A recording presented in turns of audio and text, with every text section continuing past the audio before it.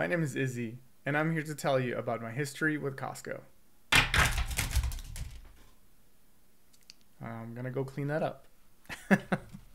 so this video is gonna be a little bit different. Uh, I'm not gonna be talking about Costco stuff per se, but rather I just want to give you a little bit of insight on my history with Costco and like how it all started and how I got to now. Kind of like show you my credentials in a sense if you want to look at it that way. So I have some stuff to show you. I'm also to try to do minimal editing on this video. I just want it to be pretty straightforward, just you and me. If you ever see any cuts, it's probably because I'm thinking about what I'm to say or I said something weird and I'm just going to, I just say it again. It's basically what's going on. But I look, look, look at all these name tags that I have. So I'm gonna, I so yeah, let, us go over them. So this right here, my name is Israel. That's my real name. Uh, I am not from Israel. I have no connections. I am Hispanic and European. That's, uh, I mean, according to 23andMe, that's what I am, but who knows? They could be lying. Anyway, I think this is really cool because this is the very first name tag I ever got. Here on the back of most of these uh, name tags, you'll see the print date, and this is June 25th of 2008. It's like two days after I got hired, and then I went for, um, or what do you call it? The, uh, I can't think of the word. Initiation. It's not that. Well, you know what I'm talking about. I can't think of the word. I'm to think about it later. I'll put it here if I remember. If not, leave it in the comment section below. Oh, oh. Okay. Anyway, I think this is really cool that I still have this. So you can see I started in the food court 2008 and I worked in that department for two years. And then after that, I transferred to the front end. And so this is my next tag. Got some little stickers in the back. Here is my shortened name, Isra, front end 53. Cashier assistant, that was the position. So I, I used to like just having front end and then my cashier number. But there's a moment where they're like, no, we need your actual like position there. So we had to go with our position. So 2010, I transferred to the front end and that was great. Front end was actually a really nice change of pace. The food court, I loved the crew that I worked with, but food service is is hard.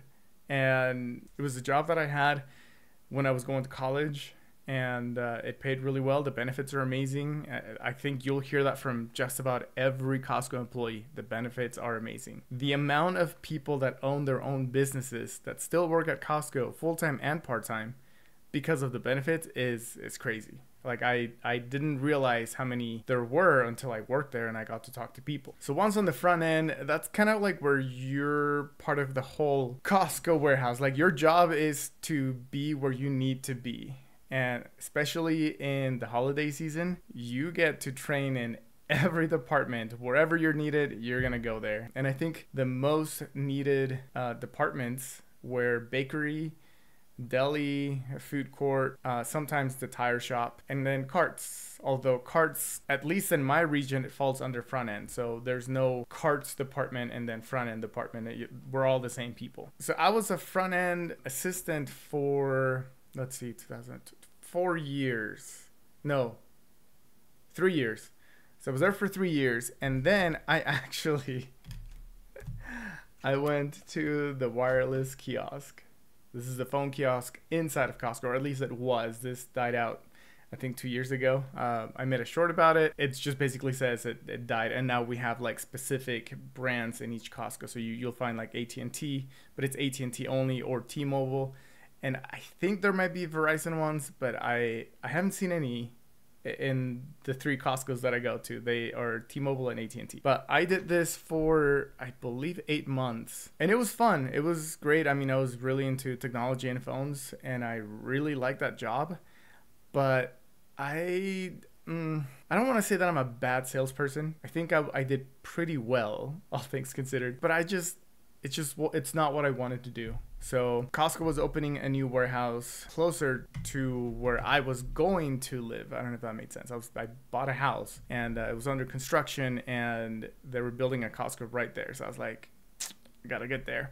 So I applied and I got rehired within the year. So here's my 2014 tag when I got rehired. Again, I wasn't even gone a whole year. I just got rehired on the spot and I got hired as a cashier. So, cashier, cashier, front end, cashier. and as a cashier in a new warehouse that was kind of slow, I still got to do a lot. I still, I still assisted. Um, I went and helped out the tire shop for a couple of months, so that was super fun as well. To, I mean, it's pretty basic, right? You just you're changing tires, getting orders and stuff like that. I also worked in the deli department for about eight months, and that was one of my favorite departments. It's just, I hope I, I don't offend anybody, but it was nice because you don't interact with members very often. You're just kind of inside this aquarium where people just see you preparing food and you're just with your team and you prep the food and you put it out. You answer some questions here and there, but you're not really interacting with people that much. And it was kind of nice. I, I really, really liked that. After the deli, I went to bakery for a few months as well. And this was during the peak season as well. So October, November, December. So three months straight went from deli to bakery. Got to do a little bit of everything, mostly uh, just wrapping. Uh, I did some cleanup days, which it's hard. Cleaning the bakery is hard. Everything's so heavy. It takes a long time. There's just butter and oil and powdered everywhere. It's it's hard to clean. But again, because I wasn't interacting with many members, it was kind of nice just to kind of like be in my own space and and and you get to like talk to your coworkers. And yeah bakery was super awesome. Working er, doing the uh, pumpkin pies was very hard. And we pulled some 10 to 12 hour shifts just to get pies done for everybody. And it, it was hard. You would get there at like 8 p.m you stay overnight and it's like 8 a.m and you're barely leaving. And then you are back eight hours later. Maybe it wasn't that extreme. And we got taken care of so they were just very long hours. I don't regret any of it. It's all great. I'm glad I had that experience. So deli, bakery, tire shop. Um, as a front end uh, cashier uh, or employee, I also helped a lot in the major sales department. I was never actually a major sales employee, which is the electronics, by the way. But I helped them out quite a bit. And back like you know eight ten years ago i was more knowledgeable about like technology like tvs dvds blu-rays video games computers like i was more up to date with all of that so it was easy to for me it was easy for me to talk about all of these things um, so that was fun to do but every now and then it would get a little boring and it, all, all we're doing is just cleaning up and making sure everything's straight. there were times where I had to go and chase down people. I'm like, hey, do you have any questions? Can I help you with anything? And like, I know I might have come up as come off as annoying, and if I did, and you're recognizing me right now, I'm sorry. but it was fun. I really liked it. Oh, actually, there was a couple of times throughout my entire front end career, which was from 2010 to 2017, where I worked both morning merch and night merch. So I talk about these positions a little bit in my previous video. Basically, all we do is restock. If you're morning merch, you come in like at 3:30 in the morning, 4 in the morning, 5 in the morning sometimes, and then you just make sure everything's stocked up and cleaned and ready to go for when the store opens. If you're night merch, the shifts would start around 1:30 p.m. or 2:30 depending on how late your shift went and you're same thing just restocking you're clearing out the empty boxes you put them in the uh, flatbeds and then you take them into the bag to get them crushed i liked both of these positions as well morning merch was a little hard for me because even though I like waking up early, I'm more of a night owl. So it was hard to go to bed early to wake up early. So after a few weeks, I got really tired and it was kind of hard for me to uh, get there on time. So I, I, I got a couple of write ups for being late uh, when I worked the morning merch. Let's see what else I got here. I got the Punisher, Defender, and Rico Grimes. So these were my Halloween tags um, so I dressed as the Punisher one time, and I dressed as it was Rick Grimes from The Walking Dead, but uh, because I'm Latino, Hispanic, I changed it to Rico to be funny. Um, I also found out that not every Costco allows you to do this. There was one location where they were like, yeah, this is fine as long as it's the one time and it's not inappropriate, you can do it. But other than that, I haven't been in any other warehouses where they let you do that. Let's see, what else have I done? Oh, well, I don't have a name tag for this. I mean, I don't have a name tag for a lot of these positions because they were more like it was more like I was on loan to the other departments. But for a little over a year, I became the safety coordinator for the warehouse, where basically I just make sure that the whole warehouse, the employees, we're all up to date with our safety, and we take safety very seriously. So yeah, I did that for a little while. That was that was it was cool. Between the the transition from one warehouse to the other, I did become a supervisor for a little while. Supervising was okay. See, before I became a supervisor, I thought I wanted to climb up the Costco ladder. And um, in order to become a manager and keep climbing up, like you have to do all of these trainings, be knowledgeable, be a supervisor, and then you start doing all these like other trainings. But being a supervisor at a time where like my pay was topped out um, meaning like like I reached the cap of races. Supervisor pay wasn't that much, but the work was a lot more. And it was like at the time, I believe it was it was just a dollar difference. So after doing it for a little while, I was like, well, I could be a supervisor and get 20 bucks an hour, or I could just be a cashier and get 19 bucks an hour and do way less work. so I decided to not pursue that way. And so I went into membership. Membership was also another super fun um, department. This is where we do returns. This is where we create memberships. We answer questions again because I got, I felt like I got an in on like all of the information and I'm I was able to explain to people better like hey this is what your membership does this is what you can do what you can't do uh, with certain returns, we had to like look into it. Um, like it wasn't as easy as like, yep, here you go, here's your money. Like we need to find items, right? So you feel kind of like a detective. that that might be uh, a little too much, but it was fun, and our team was awesome, and everybody takes care of each other. And I think membership uh, gets a lot of hate from members. because we're not we don't we, we we follow the rules basically. And sometimes it's it's not in your favor as a member. And uh, yeah it was fun. I have some stories man. I mean maybe okay i'm gonna do my live streams um, and where i will tell stories. But yeah i meant to do that one last week. I had some stuff come up and i couldn't make it but i do plan on doing uh, a live stream this coming weekend and then every now and then i'll i'll jump on if you guys like it.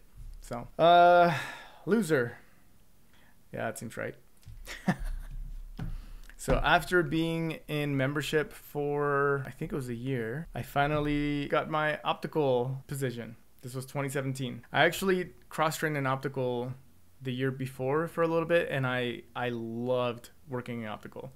There was something about being able to take your time with a member slash patient and just helping them get their glasses, get their contacts, and I kind of fell in love with the position. So the rest of it is optical. So here's my optician tag.